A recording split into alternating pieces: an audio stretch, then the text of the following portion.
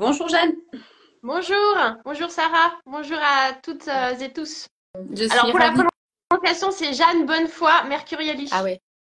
Mais oui, oui, c'est vrai. C'était un peu difficile quand même ton nom. C'est pas grave. Oui, oui, c'est un peu long surtout. Euh, donc aujourd'hui, on va parler de toi, on va parler, on va parler de ta technique euh, de colombin, euh, de colombinage des grosses pièces. Et euh, on va te poser pas mal de questions là-dessus. Ok. Donc pour. Et euh, ben, comment est-ce que tu as découvert cette technique? Comment est-ce que tu t'es lancé dans la céramique et principalement dans le colombinage des grosses pièces? Et qu'est-ce qui t'a plu en fait là-dedans? Ok. Alors moi, en fait, j'ai une formation de, de mouleur en fait au départ. Euh, en céramique, j'ai un BTS de mouleur et euh, donc j'étais plutôt tout début de, de ma carrière, disons, axée sur des choses très design. Et en fait, je suis partie vivre au Yémen, à Sanaa. Et, euh, et là-bas, c'était un peu compliqué de travailler le plâtre et de faire du moulage, donc j'ai dû complètement changer en fait ma vision de, des choses de la céramique. Et j'ai été travailler en fait avec les, euh, les potiers euh, de Sanaa. Et Oh, là-bas, ils travaillaient uniquement le colombin. d'accord. Euh, et en fait, ils avaient une technique assez particulière, c'est-à-dire qu'ils dansaient autour des pots.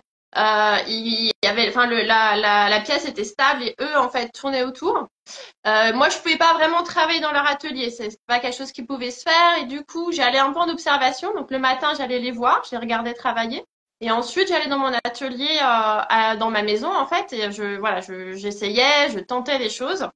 Euh, et c'est comme ça. Et après, au fur et à mesure des années, je me suis fait moi après ma propre technique. C'est-à-dire que moi, je ne tourne pas autour. J'utilise des tournettes. Mais euh, voilà, c'est comme ça. En fait, c'est en regardant les petits euh, Sanaani les faire des pots et ensuite après en voilà, au fur et à mesure, en acquérant moi aussi mes propres gestes, en personnalisant en fait cette technique-là.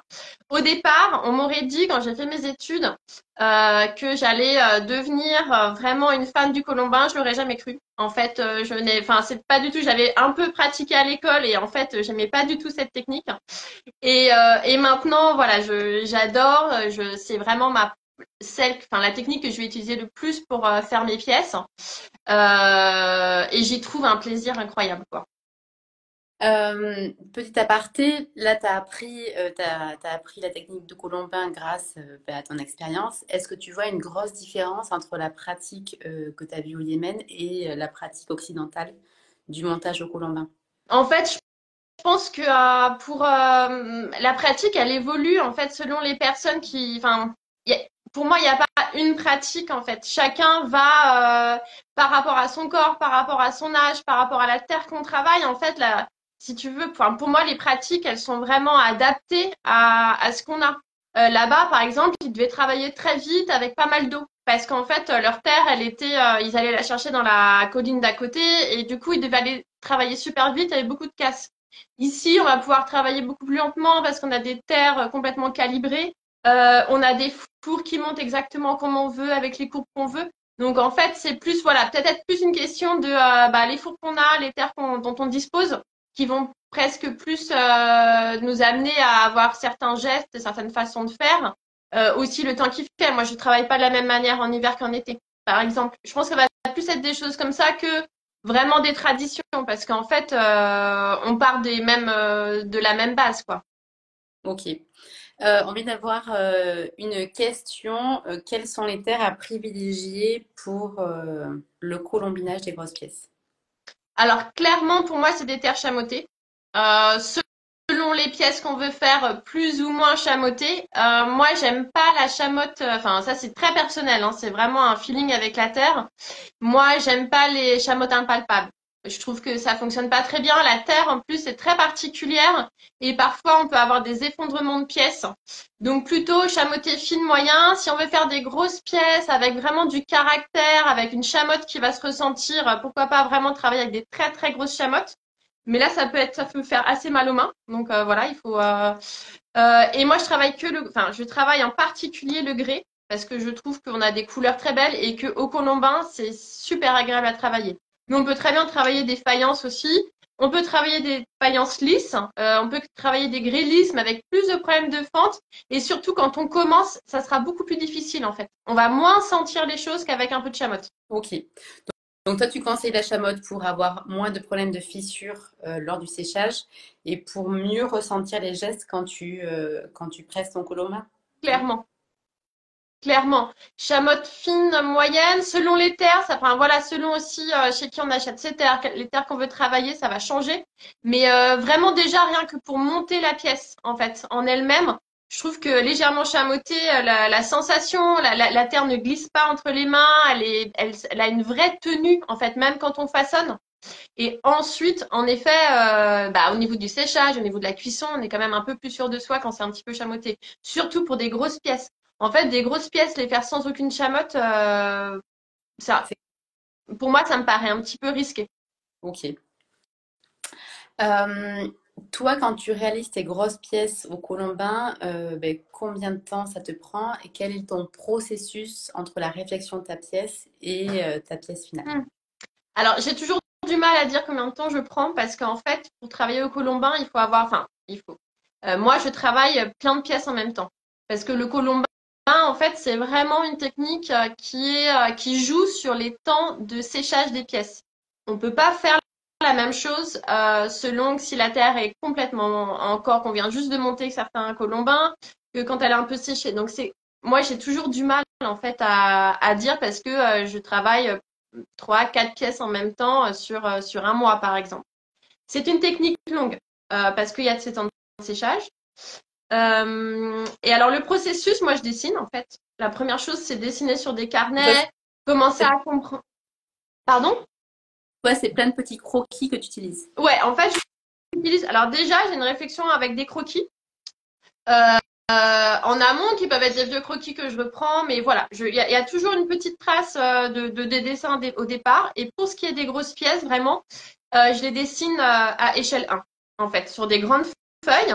Je les dessine pour voir, parce que entre eux, quand on passe un petit croquis sur un carnet à une vraie grande pièce, ça n'a plus rien à voir au niveau des échelles, en fait, parce que ce qui pourrait vous paraître bien sur le croquis, en fait, va pas bien rendre. Donc, moi, je passe toujours à échelle 1, je mets mes, j'attache, en fait, j'accroche mes grands dessins dans l'atelier et je travaille comme ça. Et comme ça, déjà, je vois si ça fonctionne. Parfois, je rééquilibre un petit peu les formes. Et ça me permet aussi, au besoin, de faire des gabarits. En fait, pour vraiment ensuite, une fois que j'ai monté mes colombins, vraiment avoir les formes que je veux, je mets de temps en temps de gabarits et comme j'ai déjà ces formes dessinées, en fait, euh, ça va me permettre de faire directement les gabarits et de travailler à partir de ça. Trop bien. Tes gabarits, tu les fais comment? Tu les fais tu les fais sur des, feuilles cartonnées? Oui. Alors, moi, je bidouille. Donc euh, mes gabarits, ça va être euh, du carton recyclé, juste pour avoir bien le. Parfois, je peux aussi les coller sur des tasseaux en bois pour que ça soit plus rigide, pour que j'arrive bien. Ça peut être dans des plastiques. Enfin voilà, je j'ai pas de, je fais pas des gabarits en bois. Enfin, j'aime pas. Euh, je, je, je, prends pas de temps forcément à les faire ces gabarits, c'est-à-dire je vais vite. Hein. Euh, je vais pas aller euh, bien découper dans du bois et tout, parce qu'en fait mes formes elles sont toujours différentes. C'est pas comme si on se dit bah voilà moi je vais avoir trois quatre formes, toujours répéter les mêmes. Moi j'adore quand ça varie en fait, d'être dans vraiment ouais dans la variation à partir d'un thème. Donc du coup il faut que mes gabarits j'aille assez vite pour les faire. Ok. Euh, donc les pièces au colombin, c'est chouette, mais faire des colombins réguliers, c'est quand même galère. Comment est-ce que, euh, est-ce que tu peux conseiller des astuces pour bien réaliser tes colombins ou est-ce qu'on peut utiliser des machines comme des extrudeuses par exemple? Voilà. Alors, moi, c'est ce que me disent mes élèves à chaque fois. En fait, c'est vrai que faire un colombin, c'est vraiment galère. Ça paraît tout bête comme ça, hein, mais euh, c'est très compliqué. Alors, pour moi, euh, pour faire du colombin, c'est-à-dire pour faire la technique du colombin, on n'a pas besoin d'avoir des beaux colombins. On a juste besoin d'avoir une bonne consistance de la matière. C'est-à-dire qu'il faut aller vite. En fait, si on passe son temps à vouloir avoir un super beau colombin bien rond et tout, eh ben, nos mains qui sont sèches vont assécher la terre. Plus on va travailler souvent, on travaille sur du bois, donc qui lui-même sèche la terre. Et on arrive avec sur sa pièce avec un colombin qui est déjà un peu sec et du coup c'est juste la galère de monter au colombin comme ça. Donc moi ce que je préconise quand on veut faire des grosses pièces au colombin, en fait c'est d'aller super vite quand on façonne ces colombins. Peu importe qu'ils soient pas très beaux, parfois ça va être un petit peu plus, je vois bien, hein, c'est pas rond, c'est-à-dire qu'il y a des endroits où ça appuie un peu plus, c'est pas grave en fait. Parce que ce qu'on veut c'est une consistance et pas forcément une régularité. Parce qu'après la, la pièce on la lisse. Donc pour moi, ça c'est pas important. Après, si on veut faire par exemple des, euh, des anses au colombin ou des décors avec des très beaux colombins, là c'est patience. Il faut y aller doucement. Il ne faut pas appuyer. Toi, toi, tu fais des, toi, tu fais des super anses euh, régulières au colombin. Voilà. Mais ça, j'en ai fait des kilomètres des colombins. Donc en fait, euh, au bout d'un moment, on sait le faire. On peut utiliser une extrudeuse, on peut utiliser, moi j'ai des élèves qui, euh, qui, qui, se sont fabriqués, ils ont vu ça sur internet, une espèce de petite planche avec, euh, moi je pense que ça se trouve facilement ce tuto, c'est des planches sur des vis. Et en fait, en faisant rouler la planche, on arrive à avoir un colombin nickel. Euh, moi, ce que j'aime dans le façonnage aussi, quand on façonne à la main, c'est-à-dire qu'on met en place euh, la terre. En fait, on roule la terre sur elle-même et du coup, on lui donne déjà une tension. Ce qu'on va pas avoir à l'extrudeuse. Et peut-être qu'avec cet outil-là qu'elles ont, cette petite planche de bois, euh, à mon avis, c'est, on, voilà, on commence à la mettre dans, dans, le bon sens. Mais moi, en fait, mes colombins, je pars d'un bélier, en fait. Et de ce bélier, voilà, je le diminue, je le diminue et j'arrive à mes colombins. Et quand on veut faire des anses avec ça, en fait, on est sûr que l'anse, elle va super bien se mettre en place, en fait, parce que la terre, elle est déjà en place. Ok, parce qu'après, quand tu dis elle va bien se mettre en place, c'est qu'elle va pas se déformer à la cuisson, c'est qu'elle va pas. Ouais.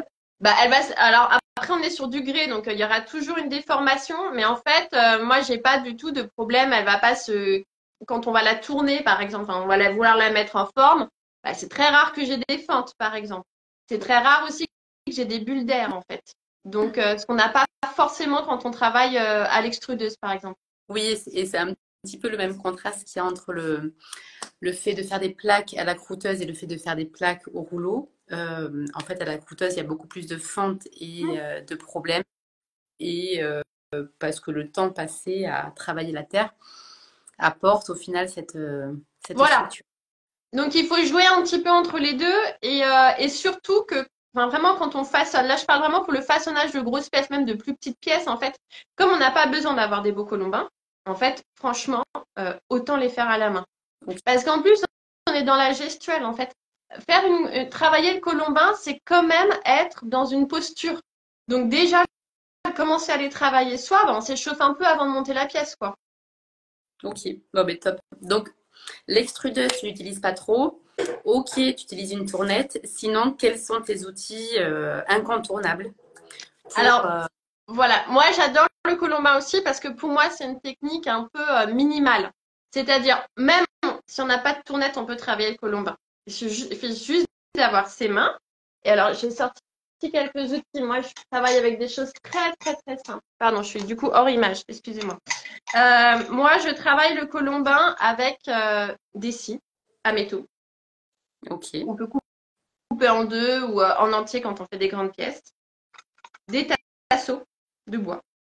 Là, ça, on voit que j'ai un peu travaillé, ça a été un petit peu, voilà. je me fabrique mes propres steaks dans des, vous savez, les espèces de petits euh, protections sous table là euh, ah en plastique.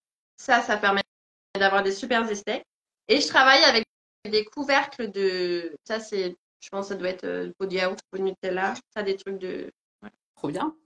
C'est que de la récupération pratiquement, donc pas beaucoup d'investissement. Et, et, avec tout ça, et aussi des mirets. Ok. Oui, c'est vrai. Pour l'intérieur, quoi. Mais c'est vraiment euh, les seuls outils que je vais, euh, que je vais utiliser pour monter mes pièces. Quand tu travailles tes pièces, donc les pièces durent longtemps, euh, il faut bien gérer les séchages. Comment est-ce que tu arrives à gérer ce séchage? De tes grosses Alors, le séchage, c'est le colombin, c'est vraiment une technique un peu par étapes. Mmh. Et, et du coup, le séchage, il se fait au fur et à mesure que je monte la pièce. Je monte pas du tout la pièce en une fois. Déjà, je commence par le fond. Le fond, il va sécher quelques jours pour être à la bonne consistance, pour recevoir, commencer à recevoir de la terre. Après la base, c'est pareil. Euh, je vais la monter, mais je vais la laisser un petit peu sécher pour qu'elle puisse accepter de recevoir encore plus de terre. Parce qu'en fait, le problème de, des grandes pièces, c'est qu'il ne faut pas qu'elles s'effondrent sur leur propre poids. Donc, toi, tes pièces, faut vraiment. elles sont grandes comment tes pièces? Ta plus grande pièce, c'était quelle taille? Euh, la plus grande que j'ai faite dernièrement, elle faisait 70 cm de hauteur. Ah, c'est bien. Mm. Ce qui tient dans mon four, en fait. Je peux pas faire plus grand que ça. pour tenir dans mon four et d'une d'une pièce, quoi. Euh, et euh, alors ça c'était assez fin, mais quand on veut faire vraiment des choses un petit peu plus larges, il faut vraiment avoir et surtout si on veut commencer à faire des formes, c'est-à-dire monter une forme à la verticale. Moi, c'est pas voilà voilà le, poids est réparti de la même manière partout, mais quand on veut commencer à donner des courbes, là il faut vraiment que euh, bah, sur la base on accepte d'attendre un petit peu avant de continuer parce qu'en fait sinon la, la, la pièce elle va s'ouvrir, elle va s'effondrer. D'accord. Donc c'est vraiment euh, comprendre, enfin vraiment, en fait, il faut presque se planter plusieurs fois, ce qui met ce que j'ai fait. Enfin, je veux dire, euh, on n'y arrive pas du premier coup. Euh, il faut et pour comprendre en fait comment gérer ce temps de séchage pour que la pièce soit ni trop sèche parce que sinon bah, la, la terre va pas bien adhérer, ni trop molle parce que sinon tout va s'effondrer et quand ça commence à s'effondrer, bah ça va faire que empirer en fait. Donc s'entraîner un petit peu quoi. Ok. Euh, donc, on va essayer de, maintenant de, t'imaginer dans ton atelier. Mhm. Donc, on va essayer. Ah, euh, déjà, toi, quand tu travailles, est-ce que c'est plutôt du silence? Est-ce que tu as toujours un petit peu de musique de fond Et qu'est-ce que tu aimes bien comme musique? Ou est-ce que c'est plutôt podcast et autres que tu écoutes Alors, moi, je travaille rarement dans le silence. Hum, j'avoue, j'aime bien avoir un accompagnement. Alors, ça peut être un accompagnement, bah, j'écoute beaucoup la radio. Euh, clairement, j'ai mes petites émissions euh, que j'aime bien retrouver, euh, surtout le, matin, qui me permet aussi de me tenir un peu au courant de ce qui se passe dans le monde, parce que sinon on est un peu dans notre bulle dans l'atelier. Donc, il y a une espèce de petite ouverture sur le monde, plutôt matinale. Après, voilà, j'écoute beaucoup de musique aussi. Alors moi, je suis plutôt un peu rock. J'aime beaucoup, bah, par exemple, Bon Hiver, des groupes américains, Bleachers, par exemple, pour avoir un petit peu plus la pêche. Et puis, euh, de temps en temps, je me mets un bon petit live de euh, Bruce Springsteen pour me booster un petit peu euh, quand il y a besoin. et puis, voilà, ça peut être des choses beaucoup plus douces. J'avoue, rarement musique classique. mais ouais, plutôt un petit peu rock ou ouais ou quelques quoi, Tinder Sticks par exemple. voilà, des choses ouais, parfois assez douces aussi. Ok. Euh, donc, tu as vécu au Yémen où ils sont assez superstitieux. Est-ce que toi, tu as des rituels particuliers quand tu commences euh, des nouvelles pièces? Bah en fait, j'ai pas, non, j'avoue, j'ai pas vraiment de rituel. Euh, j'ai un petit café à 10 heures, c'est peut-être ça mon rituel de petite pause. Non, j'ai pas vraiment de, rituel. Après, ce, dont je me suis rendu compte en fait avec les années, c'est que maintenant j'ai j'essaye aussi d'avoir plus une posture physique, en fait, de mieux ressentir les choses avec mon corps. Donc, ça va peut-être être plus ça, c'est-à-dire que je vais me poser, je vais bien me m'ancrer dans mes, euh, dans le sol, quoi. Euh, et pour vraiment commencer, par exemple, à faire mes colombins, en fait, je vais déjà prendre une bonne position. Ça va peut-être être plus ça mon rituel, de faire très attention à mon dos, parce qu'en fait, on parle de, de faire des, des, grosses pièces, mais en fait, ça veut dire ça veut des kilos et des kilos de terre. Donc, en fait, ça va plus être ça, mes rituels, ça va être aussi organiser mon atelier en fonction des pièces que je veux faire. Parce que moi, j'ai un petit atelier et du coup, il faut que bah, je puisse soulever une pièce, la mettre sur euh, autre chose pour être à la bonne hauteur. En fait, mon rituel, ça va plus être un positionnement en fait de mon corps par rapport à la terre et par rapport à la pièce. Ok. Ton atelier, il fait combien de mètres carrés? Alors là, euh, je pourrais pas dire. C'est un ancien garage. Donc en fait, vous avez la place de mettre une voiture et d'ouvrir une porte de voiture dedans. Euh, donc je sais pas, il doit faire euh, peut-être 3 mètres de large sur peut-être 8 mètres de, longueur. Ok. Et, j'ai mon four dedans. Ok. Et comment se, comment se déroule ta semaine de céramiste? Alors ma semaine de céramiste, moi je donne des cours. Donc au milieu de la semaine, j'ai une journée de cours. de temps en temps, je donne des cours aussi le week-end. Et sinon, je travaille de manière enfin, très régulière en fait. J'aime, euh, je trouve qu'on avance quand on travaille de manière régulière. J'aime bien à 8h30, 8h, 8h30, je suis à l'atelier en fait. J'aime beaucoup travailler le matin. Je trouve que la lumière, elle est super belle. Euh, et je m'arrête euh, bah, selon aussi ma vie familiale entre 16h et, je sais pas, 17h30, disons, comme ça. Euh, je retourne très rarement le soir à l'atelier. C'est-à-dire que comme moi, mon atelier est à côté de ma maison, les... je veux pas que les choses se mélangent trop. Et ce dont je me suis rendu compte, pardon? C'est la tentation d'aller d'aller travailler un petit peu, d'aller couvrir des pièces, d'aller faire. Euh, voilà. Alors, si c'est juste couvrir, je le fais. Euh, ça, c'est pas un souci. Mais en fait, maintenant, je, je, je ne retourne plus le soir parce qu'en fait, souvent, c'est là où on fait des bêtises. On est fatigué Parce que déjà, faire du 8h30, 17h30 hyper intensif à l'atelier, on est déjà bien rincé quoi à la fin de la journée. Et du coup, euh, y retourner, moi je sais, c'est là où j'ai, où je faisais euh, un peu n'importe quoi et je défaisais en fait tout le travail que j'avais fait avant. Donc maintenant, je me, je me restreins et euh, j'y retourne le matin. Voilà, je sais que le matin, et c'est presque le matin où je fais les choses les plus physiques. Et l'après-midi, on est plus sur des questions de finition, des choses comme ça. Peut-être que voilà. Et, euh, et puis après, bah, il y a des rendez-vous, il y a répondre aux mails, il y a préparer des expos, il y a plein d'autres choses en fait qui vont venir se greffer euh, mais il est très rare quand même que j'ai des semaines où je n'aille pas à l'atelier du tout. Ok. Euh, au niveau des pièces, quelle est l'épaisseur moyenne des pièces quand on travaille le colombin? Alors, l'épaisseur va dépendre de la taille des pièces. Quand on fait des pièces, je ne sais pas, de 30-40 cm, on va avoir une épaisseur max de, je sais pas, un demi, entre un demi centimètre et un centimètre. Après, sur les grosses pièces, en fait, moi, je fais varier l'épaisseur. Enfin, je veux dire, la base est plus épaisse. L'épaisseur, en fait, sur toute la base, et c'est bien plus épais qu'en fait que le haut. Parce qu'elle, elle doit soutenir. Et ensuite, j'essaye d'avoir euh, sur le col, tout ça, des épaisseurs vraiment très fines pour aussi donner cette idée de légèreté. Après, cette idée de légèreté, il faut aussi que quand on soulève la pièce, on, enfin, ça soit quand même léger. C'est-à-dire que le, euh, avec le colombin, ce à quoi il faut faire attention, c'est en fait au poids de la pièce. Parce qu'on peut être tenté de, de, monter très épais, très épais, pardon.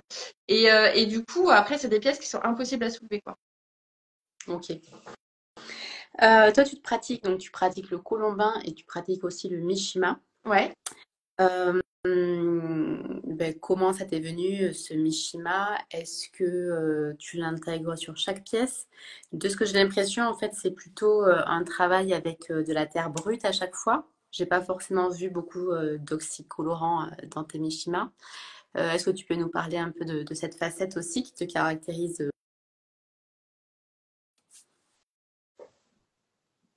Alors, euh, cette technique du Mishima, je l'ai commencé parce que, euh, donc après le Yémen, je suis partie en Palestine. Après la Palestine, j'ai vécu en Oman, à Mascate.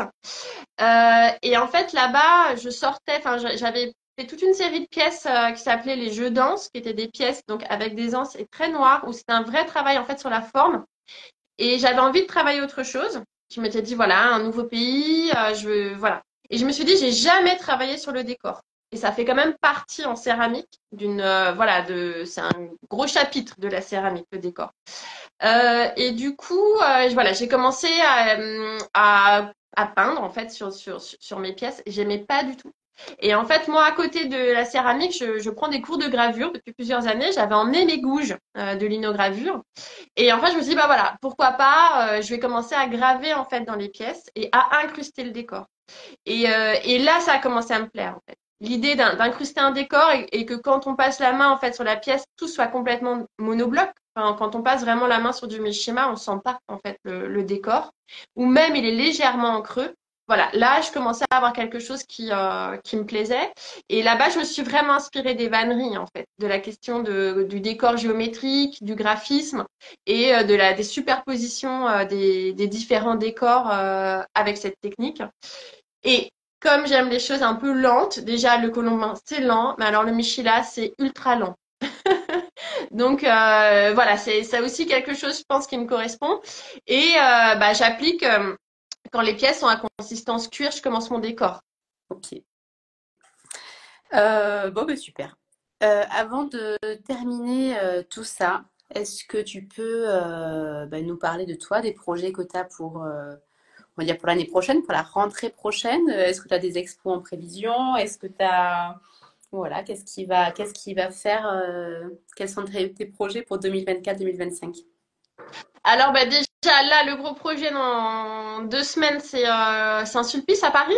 Oh bien, dis donc. Voilà, donc là c'est déjà un bon morceau. Ah bah c'est. Euh, voilà, donc là je suis en plein dans la préparation du stand. Et puis après euh, pour la rentrée, il n'y a rien encore trop de, de, prévu. Je laisse un peu euh, un peu venir. Il y a différents euh, stages et cours que je vais donner, mais là pour le moment pour les expos, j'ai pas encore j'ai pas encore de choses, mais j'ai envie aussi de faire un peu plus de gravure.